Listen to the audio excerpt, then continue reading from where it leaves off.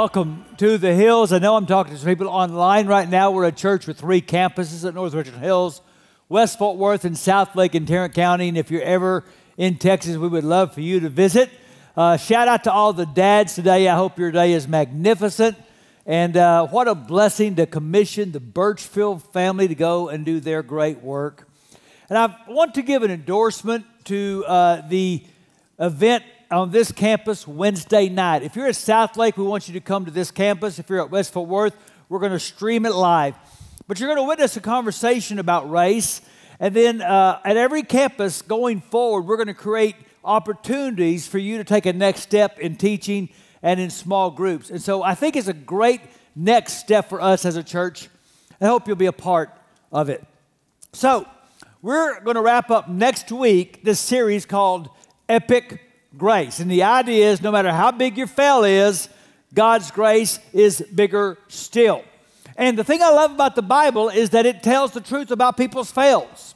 The Bible doesn't do cover up, it shows you the hero's warts and all. Not every person's perfect, not every ending is happy. The Bible has a chapter of champions of faith in Hebrews 11, and you wonder how some of the people got in it. In fact, we're going to look at one of those people today. His name is Samson. He's in Judges uh, chapter 13 through 16, and we'll get there in a moment. But to help you visually imagine that champions can fail, I want to show you a video of one of my champions. In fact, my favorite champion because I'm married to her. Now, here's the context. So, some years ago, we went to watch friends from our church play in a co ed softball game. We're in the stands watching. One of the ladies gets hurt and she cannot continue to play, which would cause our team to have to forfeit unless someone could replace her. So they call out to my wife, come out of the stands, come take her place. My wife has never played softball ever. To my knowledge, she's never held a bat or put on a glove. But she comes out to help, takes off her flip flops, puts on this lady's shoes, which are two sizes too big. And in the next inning, my wife goes up to bat, something I've never seen her do, something she's never done. So I got out my phone because I knew this was about to be epic. So please watch.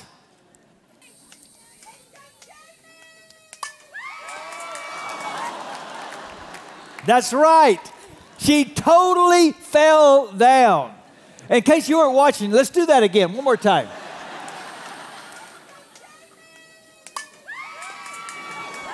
See, and I don't think you quite get how ugly that fall was. So, could we do that again in slow motion? I want you to get the whole. Here she goes.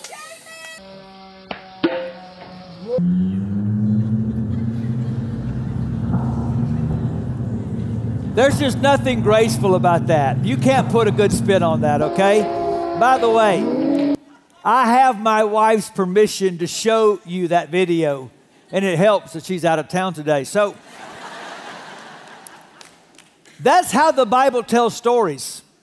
It doesn't do cover up. So when we read about Samson in Judges 13 through 16, he gets more space than any other judge in the book. The truth is, it's a record of fail after fail. But I'm going to contend his story is also the record of grace upon grace. And whenever grace is a part of the story, the story can turn into an epic. And grace is all over the life of Samson. In fact, it's there before he's born. His calling was God's grace to Samson. Here's the context the people of Israel are under oppression of a people called the Philistines, who will be a thorn in their side until the days of King David. For 40 years, they've been under their oppression. There is a couple of the tribe of Dan who are childless. The woman is barren. Completely unexpected because they're not praying for this. An angel of the Lord shows up and gives this message to the woman You will become pregnant and have a son whose head is never to be touched by a razor because the boy is to be a Nazarite, dedicated to God from the womb. He will take the lead in delivering Israel from the hands of the Philistines. So, several things about this calling stand out to me. One, is that he's the only judge who was promised before he was even born. The second is his reveal party is epic. Think about it. Who in the Bible has their birth announced before they're born by an angel? Just four people Isaac, John the Baptist, Jesus, and Samson. That's pretty elite company. But the most amazing thing about this call is that he's called to be a deliverer when no one else is calling for one. You see, in the entire narrative of Samson's life and the 20 years he ruled, not one time do the people repent and cry out to God for deliverance. What Satan wants to do to the church today is limit and diminish her, and his first choice is not persecution. His first choice is accommodation. To get the people of God to so accept the way things are that they just say it's normal and they stop asking God to change it. And that's where Israel was. But here's the thing God doesn't always wait to send a Savior until you know you need one. We weren't asking for Jesus when God sent him. And so God's call on Samson wasn't just grace to Samson, it was grace to the whole nation. And the way this call was recognized and received was through something called the Nazarite vow. Back in those days, if you had a season where you really wanted to spend time with the Lord, you would take this vow and you would promise to do three things. One was that you wouldn't go near anything dead. The second was you wouldn't drink anything from a vine. Basically, you would live a non alcoholic life. And the third was that you would never cut your hair or shave your head. Okay? So he's told that he's to be a Nazarite before he's born. This isn't for a season, this isn't for a few months. His whole life, he's to do these three things never get near a dead thing, non alcoholic life, never shave any hair on your head. What did he look like? I'm thinking cross between Duck Dynasty and ZZ Top, is what I'm thinking, okay?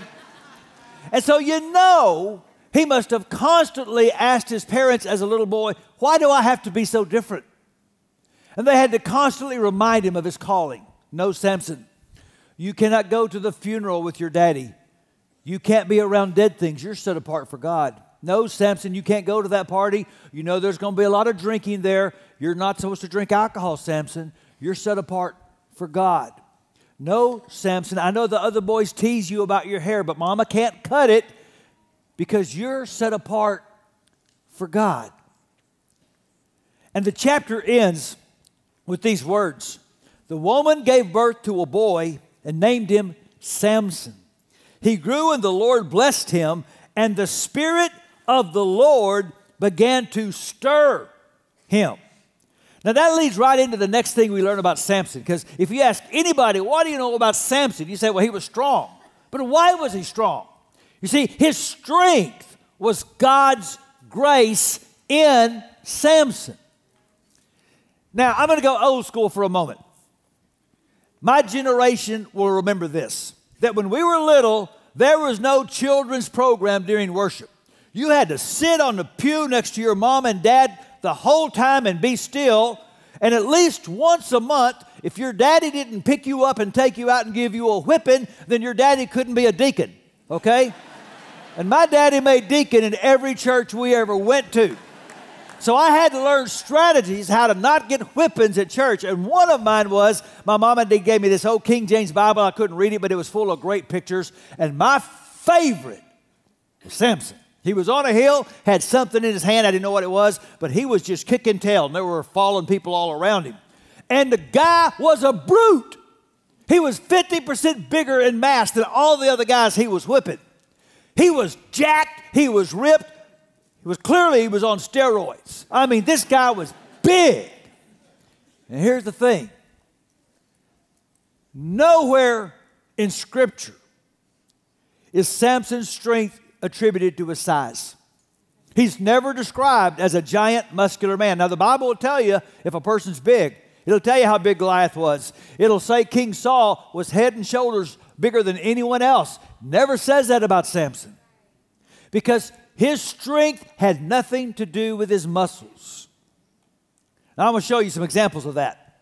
So, one time Samson is going down to set up a wedding with a woman we'll get to later. It says a lion came out and attacked him. Now look at what the Bible says, chapter 14, verse 6.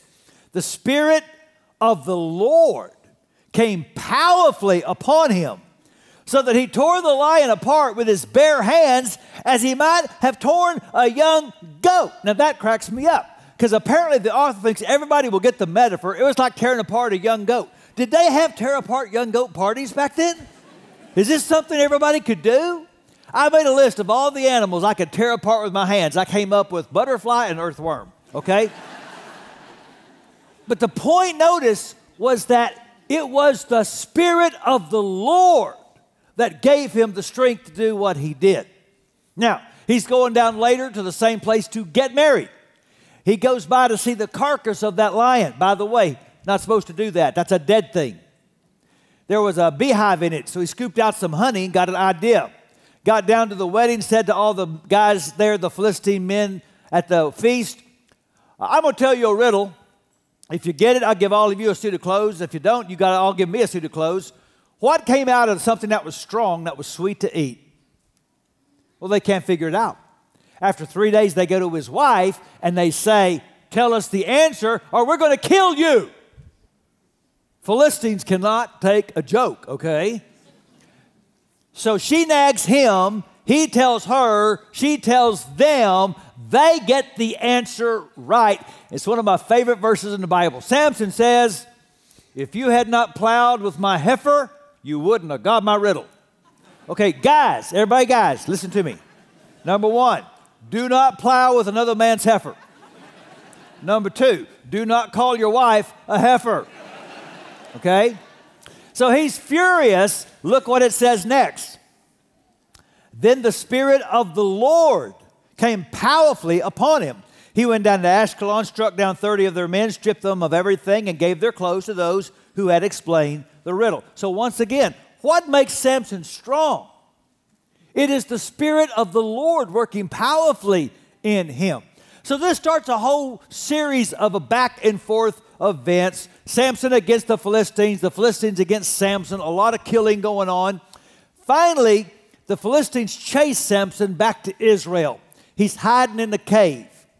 Then the Israelites come out to him and say, What are you doing? Don't you know the Philistines are our lords? Now, isn't that interesting? Never once in his 20 years does the Israelite nation rise up and rally behind Samson. Never once do they try to defend him as their deliverer. They want to turn him over to the Philistines. So they tie him up with ropes. And here's what it says The Philistines came toward him shouting, The Spirit of the Lord came powerfully upon him.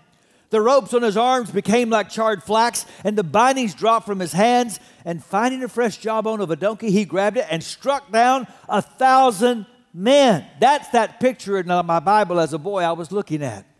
So here's the point Samson's great feats of strength are not because of his muscles, it's because of his mission. His great strength was grace strength, okay? He's a picture of what a threat a spirit filled man is to the enemies of God.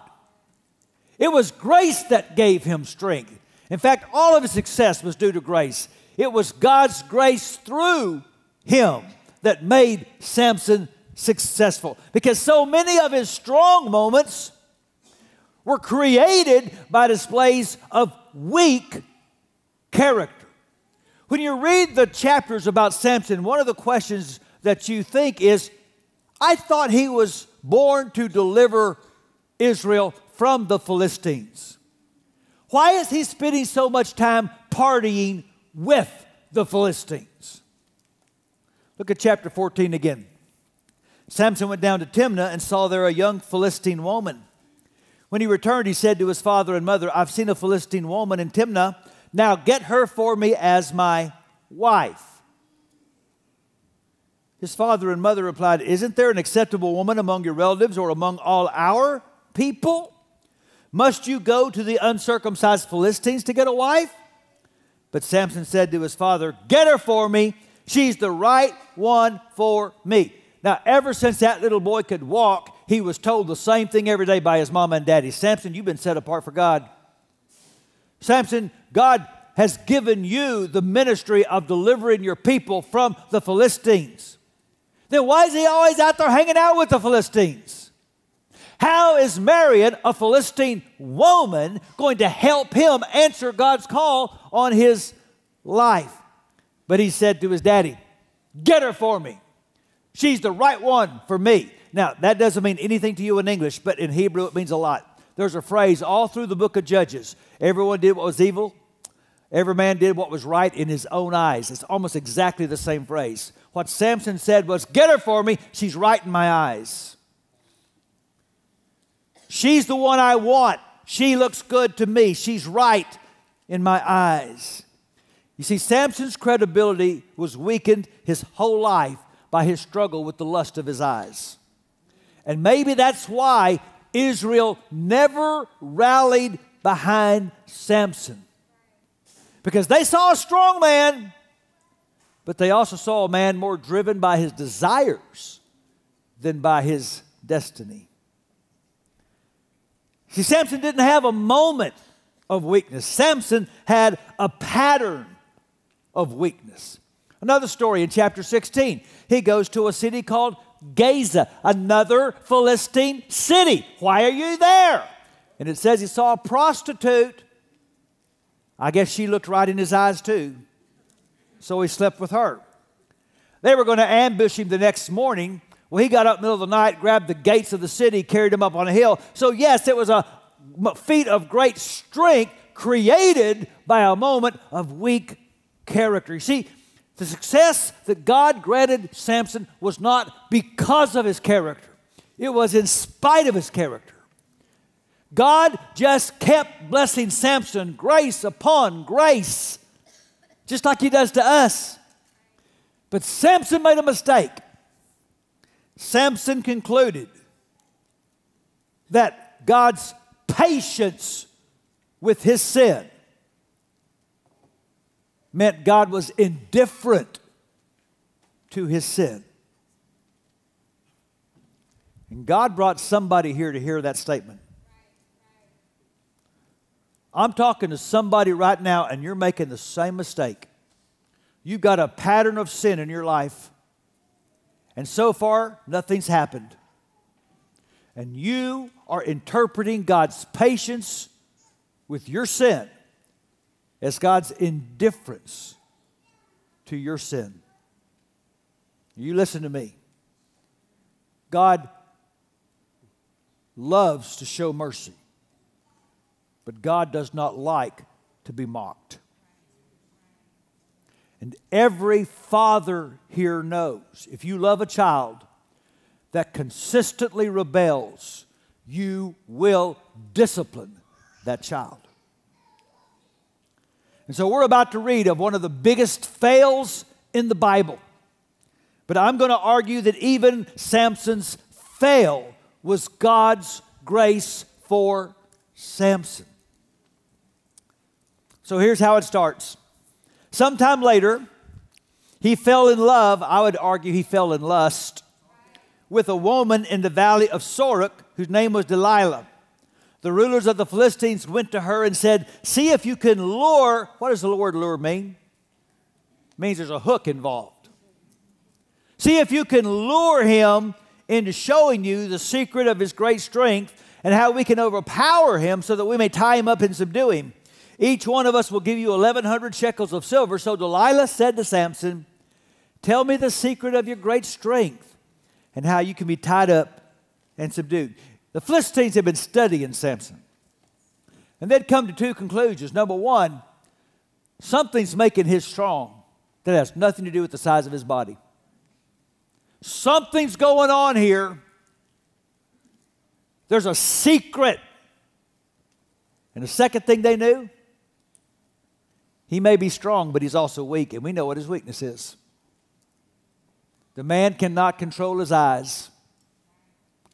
And so, Delilah, we will pay you to use your body as bait. We will pay you sex for secrets. And so, she comes to her boyfriend and says, Hey, honey, you know I love you so much. And lovers don't keep anything from each other, right? How come you're so strong? He decided he'd play a game. Well, you know, if you tied me up with fresh bowstrings, I'd be as weak as any man. So she does. It just so happens that some Philistines show up. He breaks free, chases them away. Now, any fool can see what's going on here, but he keeps playing. I thought you loved me. You didn't tell me what makes you so strong. You know, if you tied me up with fresh ropes, I'd be as weak as any man. She does. Same thing happens. He goes back to her tent. Honey, what makes you so strong? Well, you know, if you took my hair, uh oh, he's getting too cute. If you took my hair, took the braids, weaved it into a loom, I'd be weak as any man. So she does. Same thing happens, and he goes back to her tent. And you're thinking, is he the dumbest farm boy that ever came in from the country? No, the problem was not that he was dumb. The problem was he thought he was so smart. Samson had decided that he could presume upon the grace of God. That God's grace is my entitlement, and I can use the grace of God in my life any way I want for whatever I want. In short, God's grace is for my purpose. So she just kept up. And finally, he said, Okay, I'll tell you. Verse 15 How can you say I love you when you won't confide in me? This is the third time you made a fool of me and haven't told me the secret of your great strength. With such nagging, she prodded him day after day until he was sick to death of it. So he told her everything. No razor has ever been used on my head, he said, because I've been a Nazarite dedicated to God from my mother's womb. If my head were shaved, my strength would leave me and I would become as weak as any other man. You see, there were lots of people back then with long hair. There were lots of people back then taking Nazarite vows. So no one associated his hair length with his great strength. But please understand, it wasn't losing the hair that was the issue. It was Samson showing total disregard to his vow to God. He's already broken the part about going near dead things. He's way past the part about not drinking alcohol. The only part of that vow he is still honored was keeping his head unshaved. And Samson has got to the point of his walk with God that even that is worth sacrificing if it's what it takes to get the woman I want. Now, you can ignore God, but you cannot ignore the consequences. So it says that uh, he fell asleep in her lap, and she had someone come in and shave his head. Question How can you have that much hair and get it shaved off and not wake up? Answer He was drunk. He was out of it. He was in a stupor. Then she called Samson. The Philistines are upon you.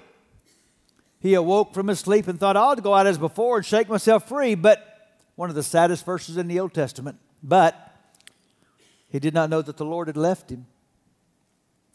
Then the Philistines seized him, gouged out his eyes, and took him down to Gaza. And binding him with bronze shackles, they set him to grinding grain into prison. It's the only time in the book of Judges that one of God's judges is defeated. And the irony is, they plucked out his eyes. That's his problem his whole life. He couldn't control his eyes. God was using defeat to discipline his son. And God will do that. There are people in this room right now listening to me that would tell you the best thing God ever did to me was let me be defeated. I was walking in my sin, and God could not get my attention with his affectionate whispers. God had to knock me down so that I would finally look up. But it says in verse 22 But the hair on his head began to grow again after it had been shaved. Now, I've got this old study Bible, it's over 30 years old in my office. I write notes in it. And over 30 years ago, when I read that verse in big letters, I wrote beside it in the margin, grace. What you're going to see is that his finish was God's grace with Samson. You see, it said the Lord had left Samson. What does that mean? When God leaves somebody, it doesn't mean that God abandons them. It means that God withdraws his gracious protection from them. It means that God says, okay, I have been protecting you from the foolishness of your sin, but I'm not going to do that anymore. I am going to let you experience the full weight of the consequence of your rebellion in the hopes it will bring you to repentance. But the truth is, God always holds on to us more tightly than we hold on to Him. And it's never too late to return to your calling. And so, they get all the Philistines together at their temple to have a big party to celebrate capturing Samson. They bring him out to make sport of him. Have Samson perform for us. And Samson says to the servant leading him along, Take me to the two pillars holding up this temple. And then Samson does something he's never done before. He prays to God before he uses his strength. Because it's finally dawned on Samson God made me strong for his purpose, not for mine. Then Samson prayed to the Lord, Sovereign Lord, remember me. Please, God, strengthen me just once more, and let me with one blow get revenge on the Philistines for my two eyes. And then Samson reached toward the two central pillars on which the temple stood, bracing himself against them, his right hand on the one, his left hand on the other. Samson said, Let me die with the Philistines. And then he pushed with all his might, and down came the temple on the rulers and all the people in it. Thus he killed many more when he died than while he lived. His life was fail after fail after fail. But our weaknesses do not cause God to abandon his purposes. God never approves of our fails, but he always proves gracious to recovering failures. His mercies are new every morning. I thought today would be a great day to hear from one of our dads who learned that lesson. So please watch Javier's testimony.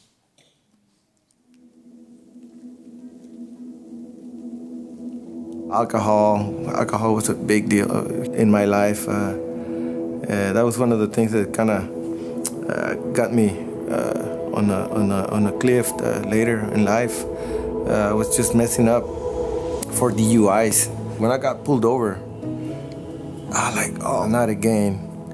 And uh, this is the fourth time that I've been pulled over by drinking and driving. When I was in the cell, I feel miserable.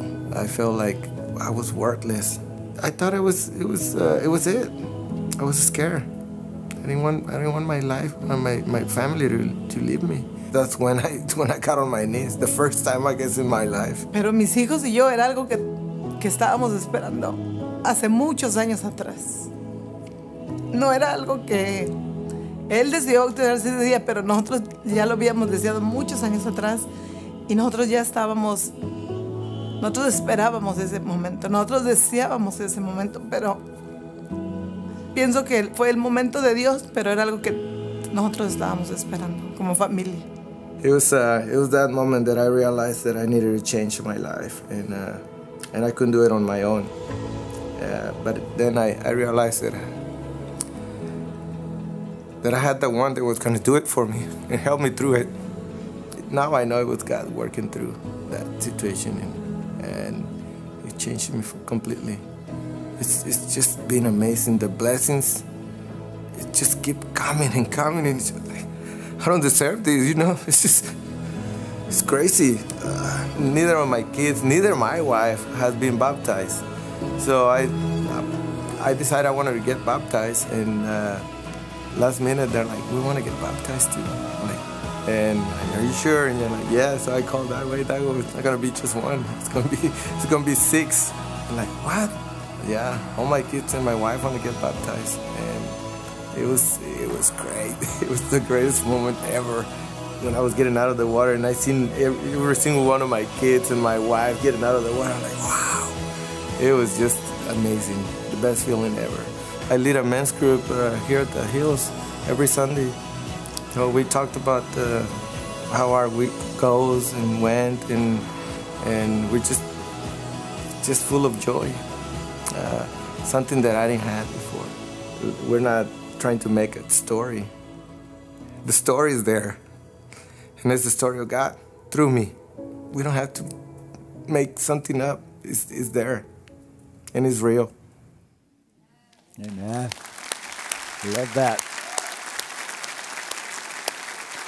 So I want to wrap up this teaching with two quick points that in some ways aren't just about Samson, but about every story we've talked about in this series. And here's the first point that grace knows there is failure in my future. God has only called and commissioned one perfect servant. Every other person God has called had failure in their future, and God knew it. There's only one that can be a Savior, the rest of us need one. Now, I'm not saying that failing is not a big deal. I'm saying God knows that we're going to fail and that grace is a bigger deal. And so maybe, maybe you need to extend some grace to somebody who failed you. In fact, let me go out on a limb. Maybe today, some of you need to extend some grace to your father. When God calls a man to be a father, he never called him to be perfect. Every father's got some fail. And maybe today, God is calling you to extend some grace to your dad. Maybe, dad, God is calling you to extend some grace to yourself. There's this wonderful little verse in the book of Luke where Jesus said to Simon, Satan has asked to sift all of you as wheat. But I've prayed for you, Simon, that your faith may not fail. And when you have turned back, strengthen your brothers. Do you hear what Jesus is saying? Simon, I see fail in your future. But I'm praying for your faith. It's going to hang in there. You're going to turn back. And when it does, I've got an assignment for you. Yes, grace knows there's failure in my future, but grace sees a future after my failure. That's some good news. Get excited. See, no one, no one can fall beyond the reach of grace, and no fail is beyond the redemption of grace. And I'm talking to somebody right now that needs to hear me say, It is time for you to stop obsessing and focusing and thinking about what might have been or what could have been or what should have been. It is time to start thinking and praying about what could still be because there's a future after your failure. Sometimes we sing a song here that has a chorus I just love. By your spirit, I will rise from the ashes of defeat. Holy Spirit power is just one ask away. And a person filled with the Spirit will always be a great threat to the enemies of God. There is a future after your failure. The hair on your head can grow again.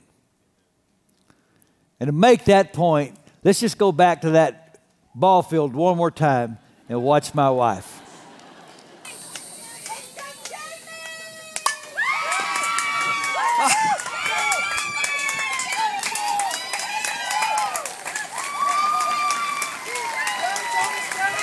My wife just got two RBIs. She got two RBIs. She hit a line drive base hit. Let's give it up for Jamie.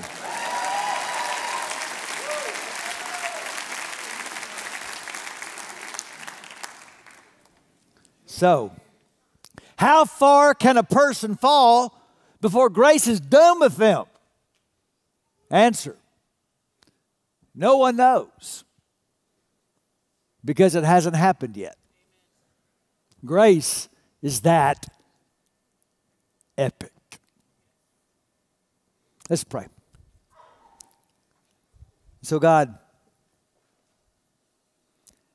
please give us ears to hear today. Someone needs some grace today. Someone needs some Holy Spirit strength today. Someone needs the power of God to forgive. Someone needs your power to get back up and keep living. We all need. We all need to believe that our worst moment is not as big as your best. And so, God, help us today to experience a fresh, real, supernatural encounter of grace. And help us to give it to someone else for Jesus' sake. Amen. Amen. Let me ask you all to stand up, please. If you're on the prayer response team, would you take your place, please? We're going to offer the gift of prayer. We're going to offer the gift of baptism. And I've been thinking a lot as we're about to wrap up this series next week. I think I'm talking to a lot of people that need to be baptized. Like Javier's family, you haven't taken that step yet. I wish this week you'd contact one of the ministers of our church and just talk to one of us about that.